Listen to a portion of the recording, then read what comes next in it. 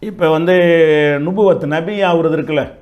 நபியாக ஆகுறது என்பது வந்து மனிதனுடைய தியாகம் உழைப்பு இதை கொண்டு ஏற்படுவது கிடையாது. அது அவங்க பிறக்கிறதுக்கு முன்னாடி அல்லாஹ் வந்து முடிவு செஞ்சிருவான். இன்னன்னார் நபிங்கிறத முடிவு செஞ்சுருவான். நபியாக நியமிக்கும் போது கூட அவங்களுக்கு தெரியாது. அவங்கள நம்புவருக்கு யோசிப்பாங்க. ஏன் ரசூல்லாவை நபின்னு வந்து சொல்கிறாங்க யார் ஜிப்ரியில் சொல்கிறாங்க ரசூலை நம்புனாங்களா? எனக்கு பயமாக இருக்குது போத்துங்க போத்துங்க. ஜம்மில் ஊனி ஜம்மில் ஊனி என்னை போத்துங்க போத்துங்கன்னு போய் மனைவிட்டு போய் என்ன செய்கிறாங்க அதை வந்து பதறுகிறார்கள்.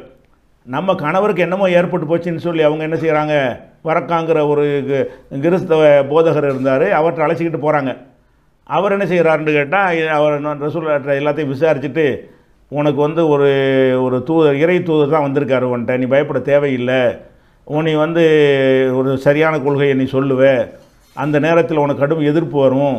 அப்போது நான் இப்போ உயிரோடு இருப்பேன் என்று சொன்னால் உனக்கு நான் பக்கபலமாக இருப்பேன். நீ பயப்படாதே என்று ஆறுதல் சொல்லி அவர் அனுப்புனாருங்கிறது புகாரியில். வகி எப்படி ஆரம்பித்ததுங்கிற அந்த முதல் பாடத்தில் இந்த ஹதீஸுகள்லாம் என்ன செய்கிறது? வரக்காவுடைய சம்பவம்லாம் வருகிறது. அப்போ இதில் நம்ம என்ன வழங்குகிறோம் நபி ஆகுறது என்பது வந்து அல்லாவுடைய சில செயல்களை பார்த்துட்டு யாரையும் நபியை நியமிக்க மாட்டான். வழங்குதா?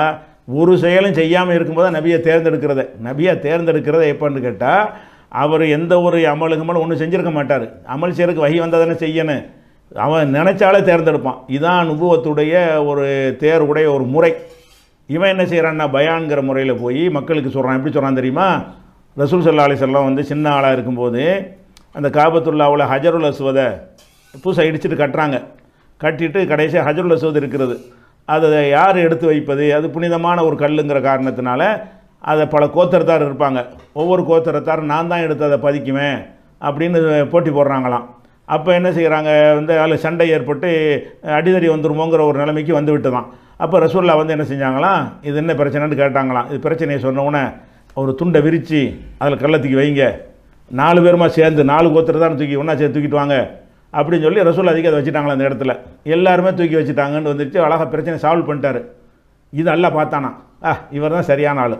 அல்லாஹ் என்ன செய்கிறான் இதை இந்த செயலை பார்த்துட்டு என்ன இவர் தான்டா தூதருக்கு தகுதியான ஆள்னு சொல்லி இதை பார்த்துட்டு நியமிச்சிட்டான். அல்லாஹ் செலக்ட் பண்ணிட்டான். அல்லாஹ் தூதராக நியமிக்கிறது எப்படி நியமிப்பான்னு கேட்டால் இப்படி செலக்ட் பண்ணி பார்ப்பானாம். இதில் வந்து அப்புறம் தான் நியமிக்கணும் அப்படின்னு நம்ம செயல்கள்லாம் கண்டறிந்து விட்டு அதுக்கு பிறகு இந்த தூதருங்கிற பட்டத்தை கொடுத்தாங்கன்னு சொல்லி அல்லாஹ் கொடுத்தான் என்று சொல்லி இந்த கிறுக்கு பைய உளறான். இந்த அஞ்சாவது போடுங்க. கொண்டார்கள். பிறகு சொன்னார்கள் கல்ல எந்த குலத்தார் எடுத்து வைக்கணுங்கிறதான பிரச்சனை? ஒரு கவலையும் படாதீங்க. துணியை விரிங்க. கல்ல நடுவுல வைங்க. நாலா மூலையிலையும் எல்லா குளத்துக்காரும் கையை பிடிச்சு தூக்கிட்டு போங்கன்ட்டாங்க. முடிஞ்சு போச்சு. அத்தனை குலமும் சமம்டாங்க அல்லாஹ் பார்க்கறான். அத்தனை பேரையும் சமமாக்குபவர் உலக தூதருக்கு தகுதியானவர். தேர்வு செஞ்சுட்டான். தூதர் ஆயிட்டார்.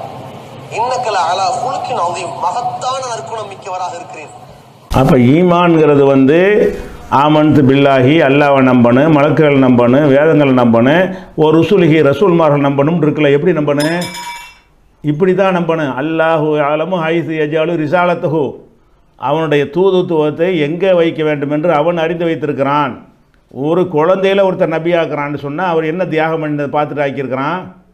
செயலை பார்த்துட்டு ஆக்குறான்? அப்போ எந்த ஒரு செயலும் இல்லாத ஒரு சமுதாயத்தில் ஒருத்தர் பிடிச்சி நம்பியும்பான் அதுக்கு பிறகு தான் செயலை செய்ய ஆரம்பிப்பாங்க. அவன் ஒரு அவன் தேர்வு செய்வான். மூசா நபி வந்து ஒருத்தனை கொலை பண்ணிட்டார் அதனால் இவர் தகுதியில் வெட்டி விட்டானா? மூசா நபி வந்து ஃபிரௌன்ட்ட வளர்ந்தாங்க வளர்ந்த இடமும் சரியில்லை. அதுக்கப்புறம் என்ன செய்கிறாங்க தெருவுக்கு போகிறாங்க அவங்க ரெண்டு இனத்தார் சண்டை போட்டுட்டு இருக்கிறாங்க. இப்போ நியாயம் கேட்குறாரு இவர் தன்னுடைய இனத்துக்காக பரிந்து பேசி என்ன செய்கிறாரு எதிரி இனத்துக்காரனை ஓங்கி ஓங்கி ஒரு குத்து விட்றாரு அவன் காலி ஆயிட்டான். இதுக்கு போய் ஆளை அடிச்சுவிட்டு என்ன செய்கிறாரு பிடிச்சிருவாங்களோன்னு பயந்து ஓடிட்டார். அப்போ அல்ல பார்த்தான் இவர் ஒரு கொலகாரராக இருக்கார் இவர் நபியாக அப்படி முடிவு எடுத்தானா? அதெல்லாம் அவன் யாரை வேணாலும் தேர்ந்தெடுப்பான். நீ அல்லாவுடைய செலெக்ஷனுக்கு பிறகு கரெக்டாக இருப்பார். அதுக்கு முந்தைய என்னவாக இருந்தாலும் சரி தான் அப்போ பிறகு எல்லார்ட்ட மன்னிப்பு கேட்டார் திருந்தி கொண்டாருன்னு வருது. அப்போ இறை தூதராக இன்னும் சொல்ல போனால் ரசூல்லாவை வந்து தூதராக்குற பற்றி எல்லாம் கேட்குறான் மா குண்ட ததிரி மல் கிதாபுல் ஈமான்.